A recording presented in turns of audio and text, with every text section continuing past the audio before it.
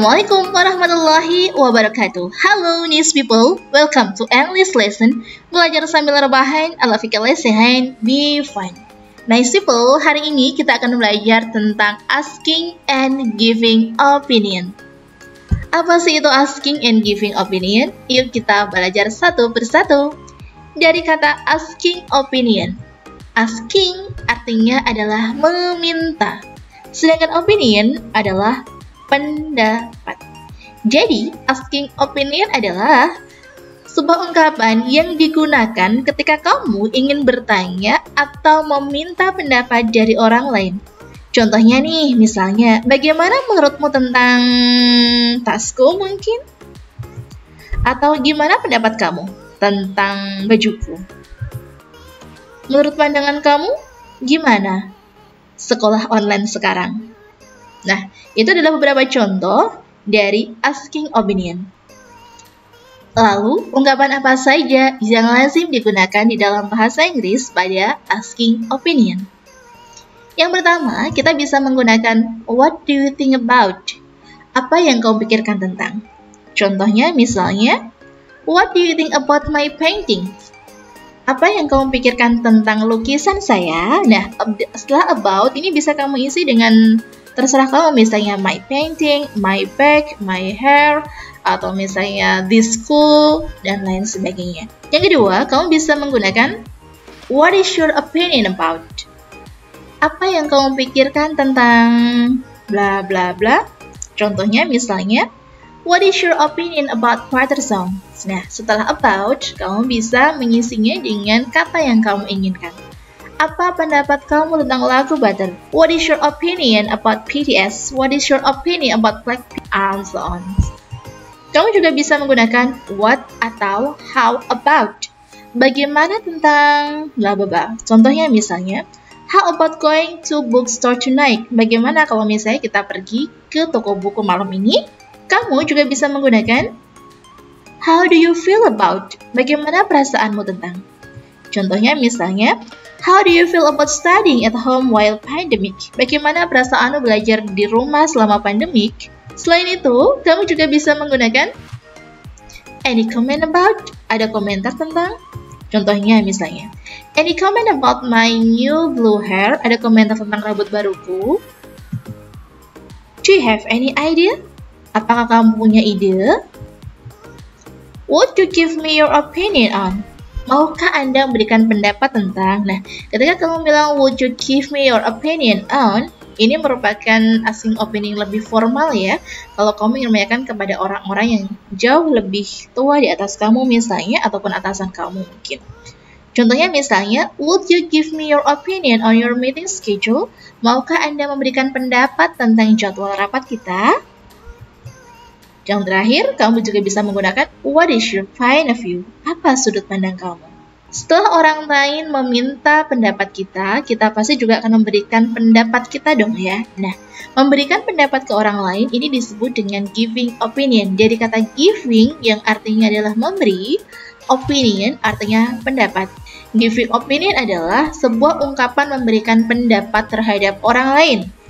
Jadi, ketika kita dimintai pendapat oleh orang lain, sebaiknya kita memberikan pendapat. Nah, sebelum mengutarakan pendapat, awali dulu nih dengan ungkapan-ungkapan giving opinion. Contohnya misalnya, kalau kita di dalam bahasa Indonesia, kita bisa menggunakan, saya pikir, menurutku, menurut pandangan saya, nah ini adalah ungkapan-ungkapan yang bisa kamu gunakan sebagai awalan sebelum kamu berpendapat terhadap sesuatu hal. Berikut ini adalah ungkapan-ungkapan dari giving opinion yang lazim digunakan. Yang pertama, kamu bisa menggunakan I think. Menurutku, kamu juga bisa menggunakan I personally think. Menurut saya pribadi, in my opinion, menurut pendapat saya, from my point of view, dari pandangan saya, in my view, menurut pandangan saya, I feel, aku rasa, to my mind, menurut pikiranku, as far as I know, sejauh yang saya tahu, I personally believe that saya secara pribadi yakin bahwa dan to be honest. Sejujurnya, nah, kamu bisa menggunakan ekspresi-ekspresi ini dalam memberikan sebuah opini. Nah, ini adalah rangkuman dari asking opinion dan giving opinion.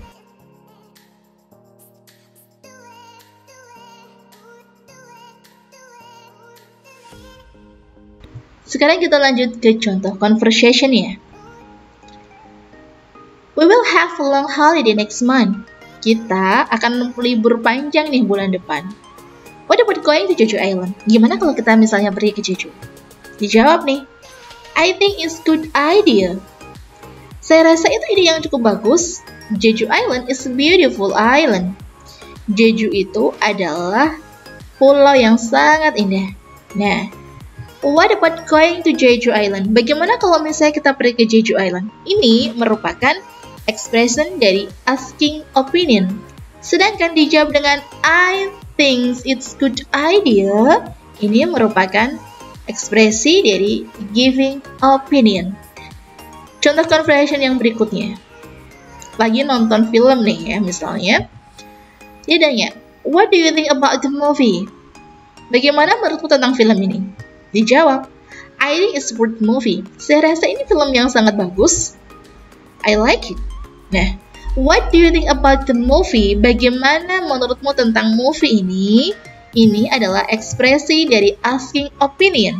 Sedangkan dijawab dengan I think it's great movie, ini adalah ekspresi dari giving opinion. Yuk kita lanjut ke contoh soalnya. Percakapan antara Levi sama Aaron. I think our city is very hot at the moment. Saya rasa kota kita itu sangat panas sekali saat ini. I don't think so. Blah blah blah. Our city is much cooler than other cities in this country. Nah, karena di sini ada kata-kata our city is much cooler than other cities dan dia juga bilang ini merupakan sebuah pendapat, maka dia bisa menggunakan dengan in my opinion. Soal berikutnya. What about this hat? Bagaimana tentang topi ini? I think it's pretty good for you. Saya rasa ini sangat bagus buat kamu. It matches the color of your clothes. Ini sangat cocok banget nih sama baju kamu. The underline sentence is used to express. Underline sentence-nya di sini adalah what about this hat? Bagaimana dengan topi ini? Ini merupakan sebuah pertanyaan tentang pendapat, menanyai pendapat. Menanyai pendapat berarti adalah asking opinion. Oke, okay, next people, demikian adalah materi kita hari ini tentang asking and giving opinion. Semoga bermanfaat buat kamu. Maaf apabila banyak salah-salah kata. Saya pamit undur diri dan see you next time. Wassalamualaikum warahmatullahi wabarakatuh. Dadah!